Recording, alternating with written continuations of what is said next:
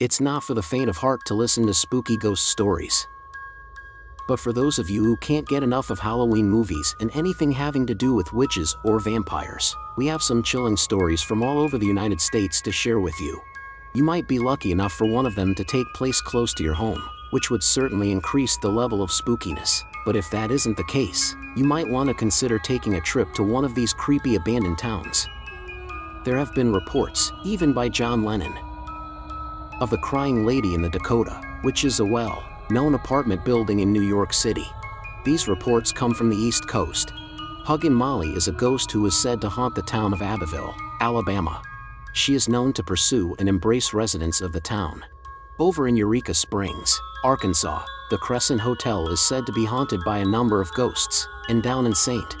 Francisville, Louisiana, a ghost named Chloe is said to be able to be seen in the Myrtles Plantation. Both of these locations are in the United States. Keep watching to see these terrifying ghost stories. Number 7. The Surrency House Goes, Surrency, Georgia. In the 1870s, members of the Surrency family in what is now the city of Surrency, Georgia, began reporting encounters with the supernatural. Members of the family reported seeing objects fly across rooms, hearing laughter and crying, and seeing red eyes staring into the house. They also saw red eyes staring into the house. The food was flung from their plates, and the utensils were twisted into shapes that rendered them useless. The citizens of the town hypothesized that the occurrences were the spirit's attempts to communicate with the family because they believed the human beings could help them. It is said that on the day that the family decided to leave the house for good. Number 6. The Ghost of Bellamy Bridge, Marianna, Florida. Traveling over this haunted bridge in Marianna, Florida, which is said to have a number of ghost stories surrounding the structure, is a great way to get a taste of true haunting love. In the 1830s, Elizabeth Jane Croom Bellamy tied the knot with Dr. Samuel C. Bellamy, a prominent politician in the community. On the night of their wedding, her dress caught fire, which resulted in the young bride receiving terrible burns all over her body. She was able to survive for a while, but she ultimately passed away. It was said that Elizabeth's love for her husband was so intense that she was unable to find peace in death, and that she was laid to rest on the banks of the Chipola River. From the vantage point of the bridge, the ghost of the recently married couple, who died together, is said to be seen walking along the banks of the river, which was built after she died. Number 5. Sloss Furnaces, Birmingham, Alabama. Birmingham, Alabama, was established in 1865, which was five years after the end of the Civil War. Sloss furnaces were initially conceived of by Colonel James Withers Sloss in 1871 in response to the growing demand for tons of pig iron to be used in the rebuilding of the United States' deteriorating infrastructure. According to the company's official website, one year later, the business started hiring hundreds of people for various positions.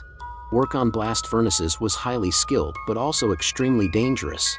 As a result, many workers began to perish after being crushed or burned to death inside the furnaces. According to Reader's Digest, by the early 1900s, conditions had deteriorated and a cruel foreman named James Slag Wormwood was in charge. Wormwood would take dangerous risks in order to increase production. During his time as CEO of Sloss, the company was responsible for the tragic deaths of nearly half of its employees and the injuries of many more. In 1906, it is alleged that his co-workers took revenge on him by throwing him into a furnace. Number 4. The woman who was seen weeping in the Dakota, the Big Apple, New York. Since it first opened its doors in 1884, the Dakota apartment building in New York City has been home to a large number of wealthy and well-known locals. In 1973, John Lennon and Yoko Ono were among those who made the neighborhood their new home. In 1980, John was also killed outside of the building when he was shot.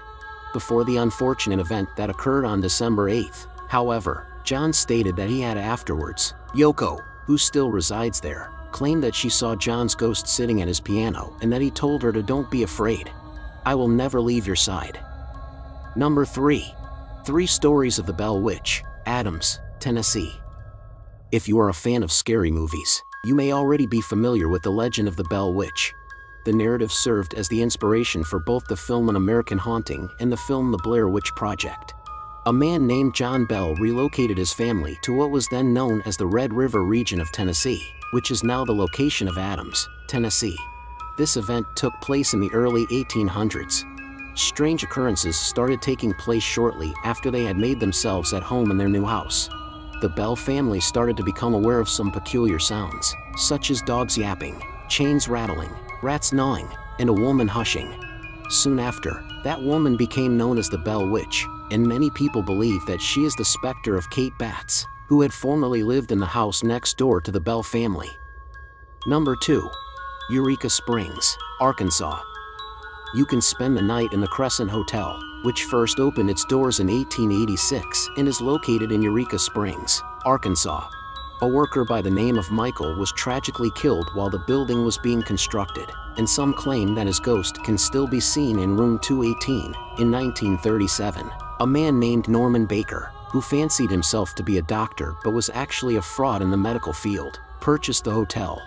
He transformed the building into the Baker Cancer Hospital and asserted that he possessed the antidote to the disease. He did not, obviously, patients who passed away while in his care were cremated or buried right in the basement of the hotel, which functioned as an impromptu mortuary. Number 1. Abbeville, Alabama's 5 Huggin' Molly. If you want to avoid hugging Molly's icy embrace after the sun goes down in Abbeville, Alabama, it is in your best interest to remain inside your home at that time.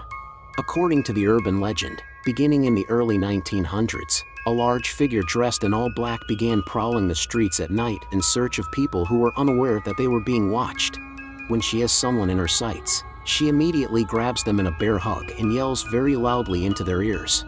A great number of people have related tales of being pursued by an individual or entity that they believe to be Huggin' Molly. Even the parents of the area's children have resorted to using the story as a disciplinary tool for their children. The town is very proud to be known as the home of Huggin' Molly which is the name given to its nighttime warden. There's even a restaurant in her honor that welcomes children and is geared toward families. So what do you think of these ghost stories? Share with us your feedback in the comments section below. And subscribe us now.